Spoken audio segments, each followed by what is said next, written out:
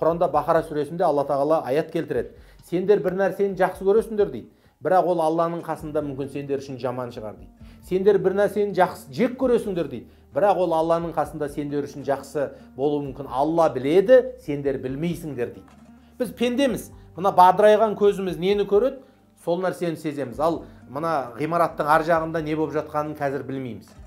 Сол сияқты пенде болғандықтан бізге аз ғана білім берілген аз ғана ақ пен қараны ажыратамыз да кейде ойлаймыз бір дүние келіп қалады ой осы дүниеде қайыр бар дейміз сол дүниенің себебінен баламыз есіріп ә, есірткі шегіп кетуі мүмкін қызымыз шетелге барамын деп бір жағдайға ұшырап қалуы мүмкін біз білмейміз өмірде кейде бір нәрсеге қатты қуануға да болмайды бір нәрсеге қатты қайғыруға да болмайды себебі қайғырған нәрсеміздің артында қайыр жатуы мүмкін бізді қуантатын сабыр қыла алсақ ал енді біз қатты қуанып кеткен нәрсенің артында қайғы жатуы мүмкін. Егер біз соған дұрыс қарым қатынас жасап құдайдан қайыры мен берекесін сұрамасақ.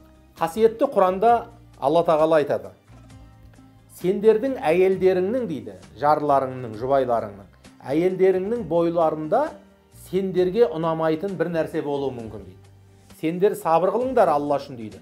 Мүмкін сендерге ұнамаған сол бір қасиеттің ар жағынан алла сендерге көптеген хайырлар жаратып қойған шығар дейді әйеліміздің кейде расында бір мінезі ұнамауы мүмкін. Мүмкін әйеліміздің түрі ұнамауы мүмкін мұрны ұнамауы мүмкін шашы ұнамауы мүмкін құлағы ұнамауы мүмкін дауысы ұнамауы мүмкін. Бірақ жалпы жақсы жалпы жақсы көріп тұрмыз. Жарымыз болғанын қалап тұрмыз. Бірақ бір жері сізге бір ұнамай тұруы мүмкін. Сіз соған сабыр қылып жоқ. Аллаға шүкір тағдырыма ризамын десеңіз сол ризашылықтың артынан сізге ұнамаған нәрсенің артынан үлкен бір алла жақсылық беріп қоюы мүмкін дейді. Бір ауылдық жердегі ағамыздың әңгімесі есіме түседі. Осы 80-ші жылдары дейді бірінші май болатын еді дейді. Бірінші майда күн жылып кетеді тіптен суға түсе беретін еді дейді. Сол бір күні суға түсетін болған кезде дейді әлі де болса әйел адамдарда әдеп бар еді.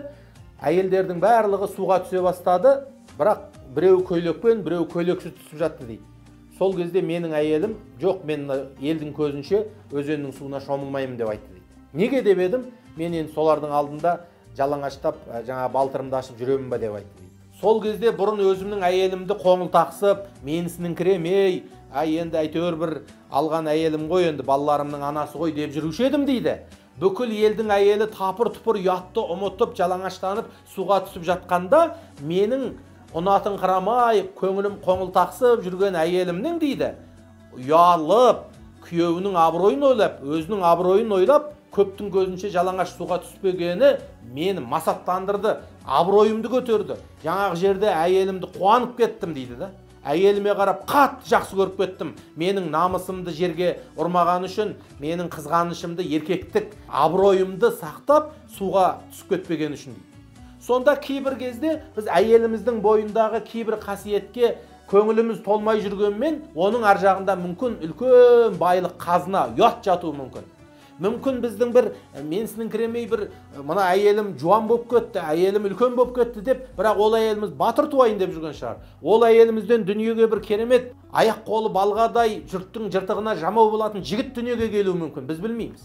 Сондықтан әр нәрседе қайыр болуы мүмкін.